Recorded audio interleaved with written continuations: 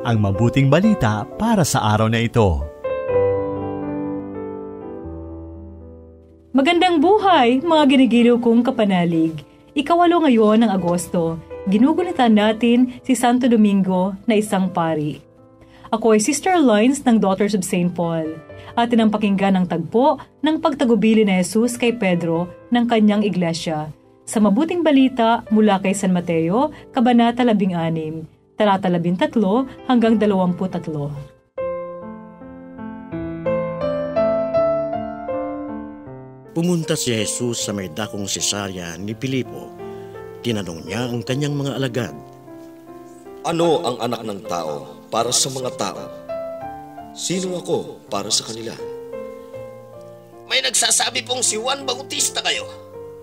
May iba pang nagsasabing si Elias ka o si Jeremias o isa sa mga propeta kaya. Ngunit sino ako para sa inyo? At sumagot si Simon Pedro. Ikaw ang Mesias, ang anak ng Diyos na buhay. Mapalad ka, Simon Barjonas. Hindi nga laman at dugo ang nagbunyag sa iyo nito, kundi ang aking amang nasa langit. At ngayon sinasabi ko sa iyo, ikaw si Pedro, at sa batong ito ko itatayo ang aking iglesia, at hinding-hindi ito madadaig ng kapangyarihan ng kamatayan. Ibibigay ko sa iyo ang mga susi ng kaharian ng langit. Ang itali mo dito sa lupa ay itatali rin sa langit, at ang kalagan mo dito sa lupa ay kakalagan din sa langit. At inutusan niya ang kanyang mga alagad na huwag sabihin kanino man na siya ang Mesayas.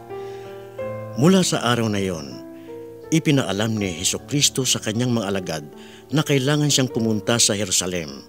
Pahihirapan siya ng mga matatanda ng mga Hudyo, ng mga punong pare at ng mga guro ng batas. Papatayin siya at muling babangon sa ikatlong araw.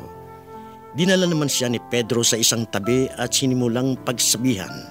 Huwag sana, Panginoon. Hindi ito pwede.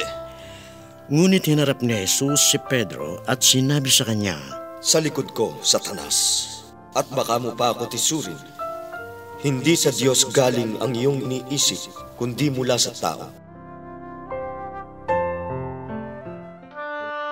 Magandang araw po mga kapanalig. Ako po si Sister Edith Sevilla Leda ng Daughters of St. Paul.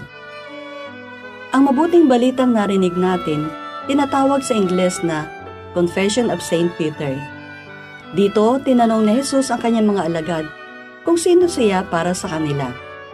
Si Pedro ang sumagot na ikaw ang Mesiyas, ang anak ng Diyos na buhay. Sinabi ni Jesus na ang amang nasa langit mismo ang naghayag nito sa kanya.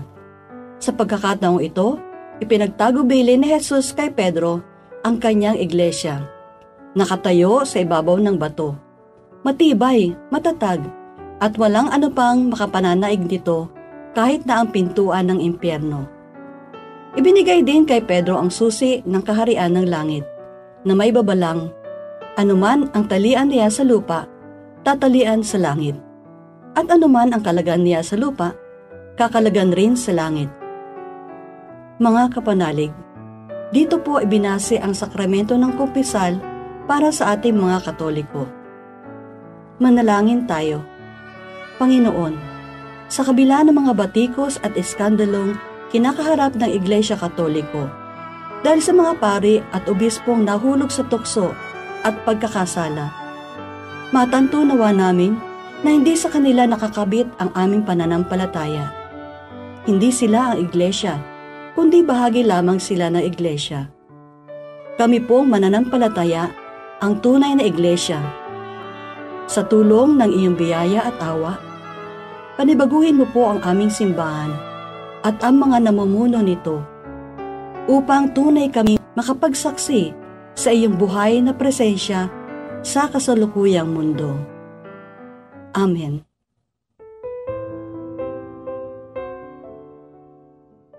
Isa na naman pagpapahayag ng mabuting balita ang inyong napakinggan para sa araw na ito. Makiisa sa aming misyon maging tagapagpahayag din ng mabuting balita sa pamamagitan ng pag-like, pag-share o pag-tag ng videong ito. At kung meron kayong mga prayer intentions, reactions o comments sa videong ito, I-message lamang kami sa Pauline's Radio PH at sa mga kababayan nating OFWs, sa mga may sakit at sa lahat ng sumusubaybay ng programang ito na humihingi sa amin ng panalangin. Asahan po ninyong ipinagdarasal namin sa Diyos ang inyong mga kahilingan. Muli, maraming maraming salamat.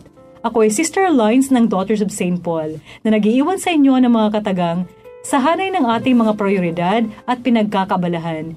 Unahin natin lagi ang Diyos nang mapuspos tayo ng kanyang banal na spirito na isabuhay ang turo ng Ibanghelyo. Inyong napakinggan ang mabuting balita para sa araw na ito. Hatid sa inyo ng Paulines Radio. Where is humanity heading? Toward what goal is it aiming? Humanity is like a great river flowing into eternity. Will it be saved? Will it be lost forever? Be a modern apostle and lead others towards heaven. The Daughters of St. Paul are missionary sisters serving the church through the media of social communications. Information, write or call the Vocation Directress, Daughters of St. Paul, 2650 FB Harrison Street, 1300, Pasay City, with contact numbers 02551-7363 or 02831-1723 or text 0916-3676-605 with email address at vocfsp at paulines.ph. We want to reach out so the world may be one. We are the church and we are young. That's why we're there